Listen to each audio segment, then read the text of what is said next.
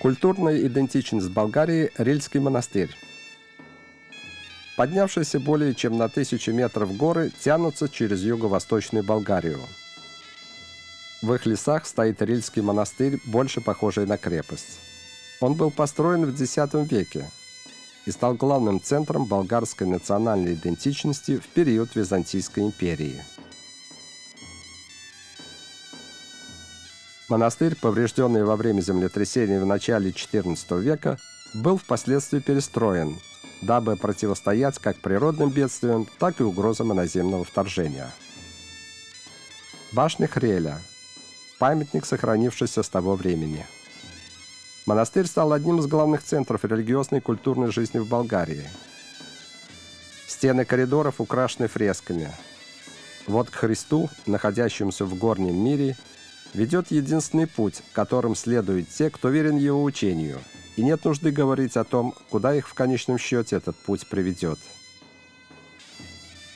А роспись на стене внизу изображает ад. Эти фрески помогают донести Христову веру до тех, кто не умеет ни читать, ни писать. В какой-то момент своей истории монастырь был полностью разрушен в результате пожара –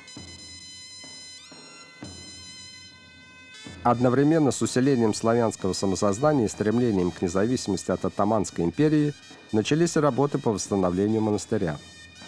Над ним трудились мастера со всей страны, и Рильский монастырь, этот народный символ, был восстановлен. Главное место в церкви – это алтарь, где изображено Око Божие, безмолвно взирающее на прихожан во время торжественного богослужения –